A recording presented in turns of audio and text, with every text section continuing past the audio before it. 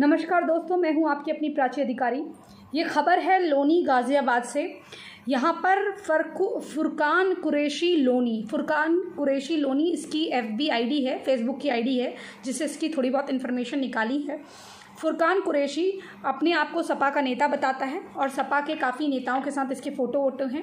और इस क्या हुआ कि एक बच्ची, नाबालिग बच्ची जो वहाँ पर रहती थी उसके पिता नहीं थे। तो इसने उसको किराए में घर देने के बहाने किराए में कमरा दे दिया और उसके बाद वो लड़की को नौकरी का झांसा दे देते हुए वो कमरा दिया हुआ था कि मैं तुम्हारी मदद करूँगा और मेरे काफ़ी टर्म्स हैं, नेताओं वगैरह से। तो बच्ची इसकी बातों में आ गई, उसने विश्वास कर लिया, उसको लगा ये बड़ा आदमी है, रसूखदार है, मेरी मदद कर देगा। उसके बाद इसने उसको बुलाया उसका विश्वास जीता, उसको बुलाया, उसको पीने के लिए कुछ पदार्थ, पदा, नशीला कुछ जो पीने के लिए पेय दिया, उसमें नशीला पदार्थ, मिला के दिया। उसके बाद वो बच्ची ने उस पदार्थ को ग्रहण कर लिया। बाद में बच्ची बेहोश हो गई।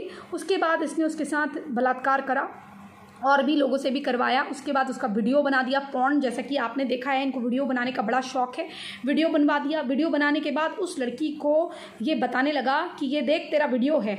और और जब लड़की ने कहा कि मैं तुम्हारी शिकायत करूँगी तो बोला, ये देख, ये डीएम के साथ मेरा फ़ोटो है, ये वाले नेता के साथ, अखिलेश के साथ मेरा फ़ोटो है, ये वाले नेता के साथ मेरा फ़ोटो, ये पार्षद के साथ मेरा फ़ोटो है, यहाँ सारे मेरे लोग हैं, तू मेरा कुछ नहीं बिगाड़ पाएगी। वो बच्ची रोने लगी। उसके बाद ये, जब उसकी हालत बहुत ख़राब होने लगी, उसके साथ ये शोषण बढ़ गया और ना उसको कहीं जाने दे रहा था, बिल्कुल एक तरह से नज़र बंद कर दे रहा था तो उस लड़की ने हिम्मत जुटा कर वहाँ से निकल कर कुछ लोगों को बताया, जिन लोगों की संज्ञान में मामला आया तो उन्होंने एचआरडी कार्यकर्ताओं से बात करी, यानी कि एचआरडी कार्यकर्ता मेरे हिसाब से ह्यूमन राइट्स डिपार्टमेंट ही होगा, जो मेरा डिपार्टमेंट है ह्यूमन राइट्स डिपार्टमेंट उस डिपार्टमेंट के लोगों को जब ये पता चला तो उस विभाग ने जाके पुलिस पर ज़ोर दिया कि एफआईआर लॉन्च हो। तो एफआईआर लॉन्च करी गई।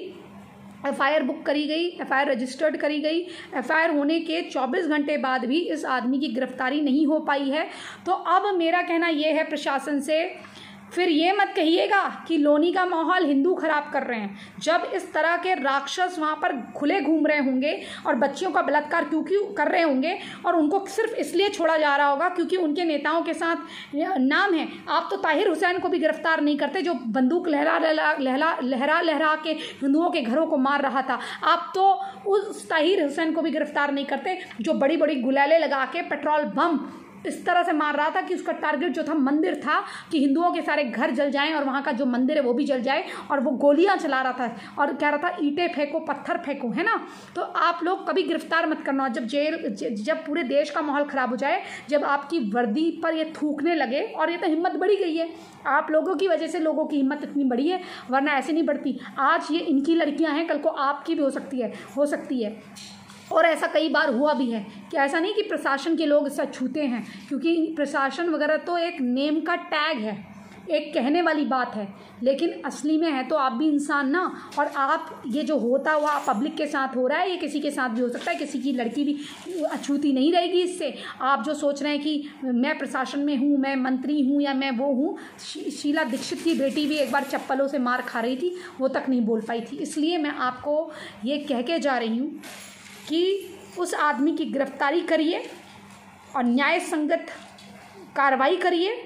ऐसे लोगों को सजाए। मौत के अलावा कुछ नहीं मिलना चाहिए। ये जो बांग्लादेशियों के यहाँ पर स्लीपर सेल चला रहे हैं, ये जो लोग यहाँ पर अपना रुतबा दिखा के पता नहीं कहाँ कहाँ से आ जा रहे हैं और हमारी हिंदू बच्चियों का बलात्कार कर रहे हैं, लड़कियों का बलात्कार कर रहे हैं, आखिर ये इनको संरक्षण, ये प्रशासन नहीं दे रहा है। इस प्रकार का एक तरह से चुप्पी साध लेना भी एक तरह से बढ़ावा होता है। या तो आप चुप्पी के बाद एक्शन करिए, लेकिन आप उसको गिरफ़्तार ना करके उसकी हिम्मत बढ़ा रहे हैं। वो जो कह रहा था उस बच्ची से, उसका तो मानसिक संतुलन ही खो जाएगा उस लड़की का। वो तो सोचेगी हाँ उसने सही कहा था कि फ़ोटो दिखाने के बाद ये डीएम के साथ इसका फ़ोटो है इसके, इसका फ़ोटो है। कम से कम मुझे खाने के लिए दो रोटी तो मिल रही थी, अब तो मुझे वो भी नहीं मिलेगा। ऐसे ही आप बच्चियों की ज़िंदगी ख़राब करते हैं, उसके बाद वही लड़कियाँ कल को स्वरा भास्कर जैसी बनती हैं।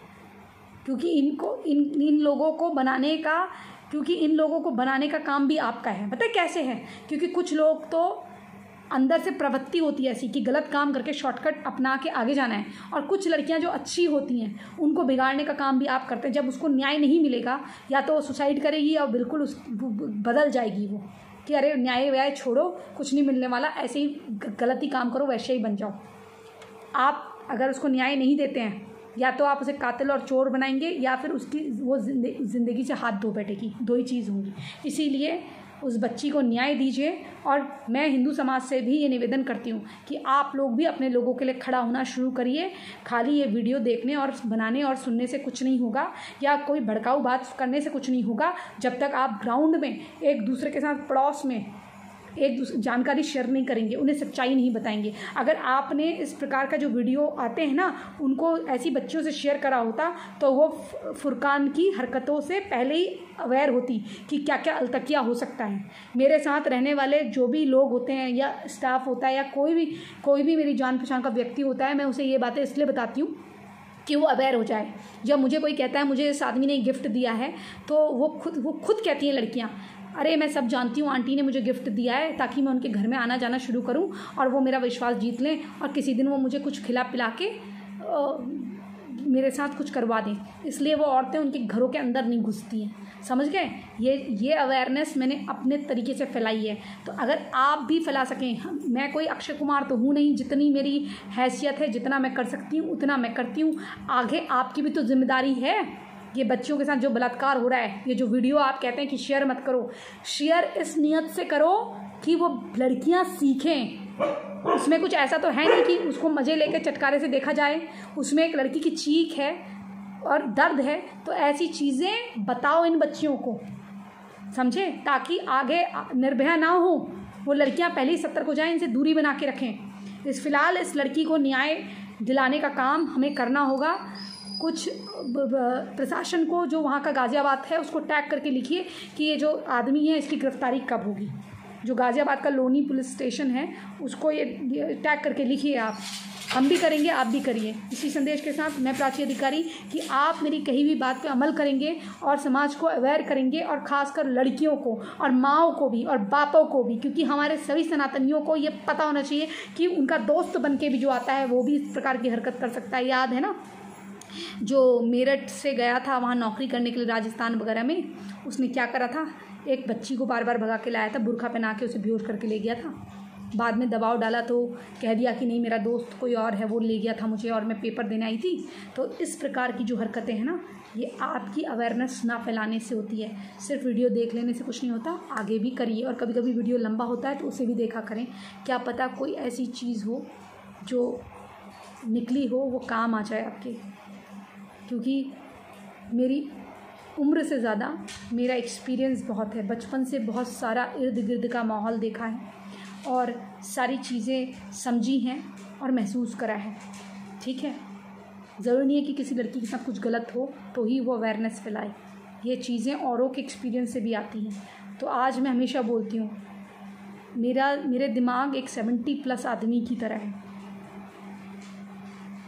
जब लाइफ की बात आती है। जब फ़ैशन की बात आती है तो I feel like a teenager मैं एक टीन एज की तरह हूँ, जब लाइफ को इन्जॉय करने की बात आती है। मतलब इन्जॉय इन द सेंस खाना पीना। लेकिन जब